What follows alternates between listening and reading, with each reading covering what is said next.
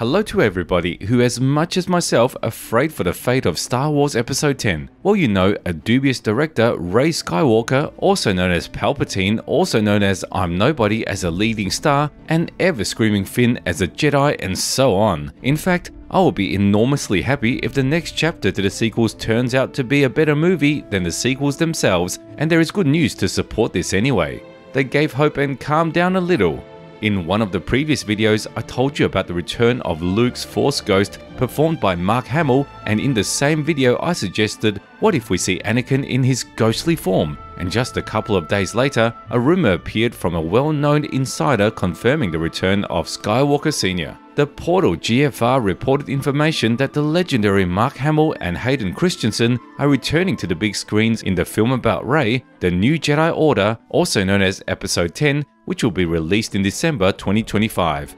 It is worthy to mention that the actress Ming Na Wen, who played the bounty hunter Fennec Shand, reacted to this post, thereby also making it clear that this information is not fake. The premiere of the film is scheduled for December the 19th, 2025. The news is certainly interesting, but we need just to wait a little longer for official confirmation from Lucasfilm. However, as we experienced before, it will not be revealed until the premiere itself. Would a long awaited meeting of father and son, which was supposed to take place in the sequels, finally happen? Yes, both of them have already left the world of the living, but there was also an early rumor update that Anakin's Force Ghost would pop up in the Ahsoka series. After all, he still had a pupil who does not give up hope of saving him by interacting with time and other anomalies in the spirit of those from the temple on Lothal. If this is true, then I am sincerely happy for Hayden Christensen, his career has received a second win. More than Anakin, I'm waiting only for Obi-Wan, Qui-Gon Jinn and Yoda. They are Force Ghosts as well and their fate is still quite unknown. Only Yoda has honored us with his visit in the 8th episode. As for Obi-Wan, there is a kind of a funny situation.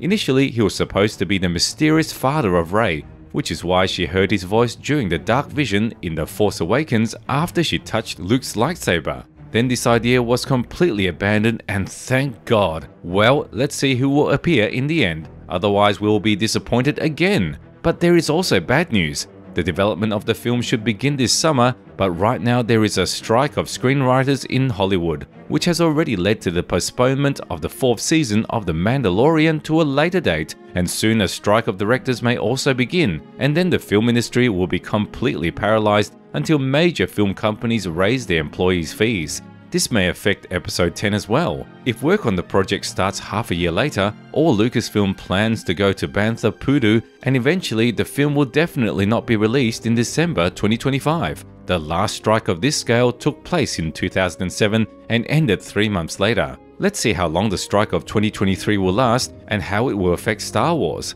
So far, this is all that is known about the new Jedi Order to date, but there is still some news on Ahsoka. Disney published and immediately deleted the release date of the series. The release date appeared on the official page of the series on Disney Plus, August the 31st, 2023, but after a couple of hours it disappeared. Note that the 31st is a Thursday, and usually premieres were always released on Wednesdays. Perhaps this date is just a typo, but I think the probability that the series will be released at the end of August is very high, although deep down I'm pretty sure that the series will be postponed to a later date when was the last time Lucasfilm released something on time?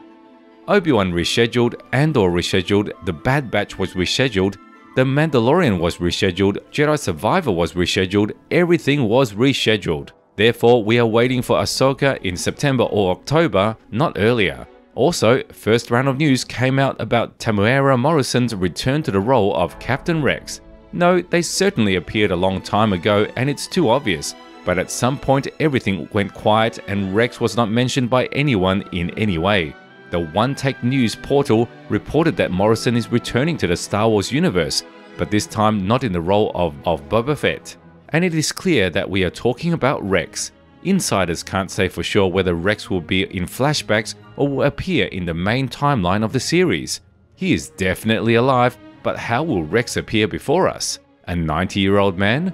By the standards of the clone aging cycle, he is in his deep old age, and it is quite possible that the Ahsoka series will complete his story altogether. By the way, Morrison has already played clone of the 501st Legion in live action, and it was in the Obi-Wan TV series. I'm talking specifically about the clone of the 501st in blue armor. I know some may say that he also played Cody in Revenge of the Sith. So, the scene where Morrison appeared before us in the image of a homeless clone actually got into the series completely by accident. No one planned it. It's just that Ahsoka's casting and filming for Vanity Fair magazine took place on the same day. Then they brought together all the actors from different TV series like The Mandalorian, Ahsoka, Obi-Wan, Andor, and even Vader performed by Christensen was brought along on the same platform. And some of the characters remained behind the scenes, including Morrison in the role of Rex. On this day, he was trying on the armor of the 501st Legion so that Lucasfilm could figure out how he looked in them and later decided to shoot such a curious scene with Obi-Wan and an aged clone in the Daiyu Alley. So, the abandoned veteran clone from the series is practically old Rex. In other words, that is how he will look in the series.